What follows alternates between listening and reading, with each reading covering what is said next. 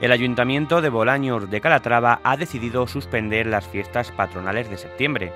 Después de reunirse con los presidentes de las hermandades patronales de Bolaños y tras la celebración de una junta de portavoces municipal, el Ayuntamiento de Bolaños ha tomado la decisión de suspender definitivamente las fiestas patronales en honor del Santísimo Cristo de la Columna del presente año.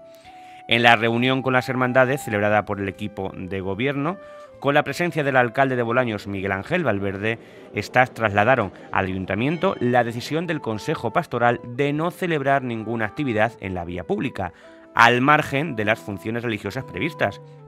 con las limitaciones de aforo correspondientes y las medidas higiénico-sanitarias recomendadas. Además, trasladaron al ayuntamiento que las celebraciones con motivo de la fiesta patronal del Cristo de la Columna se harían en la iglesia parroquial y no en la ermita dedicada al patrón, al permitir albergar mayor capacidad de personas.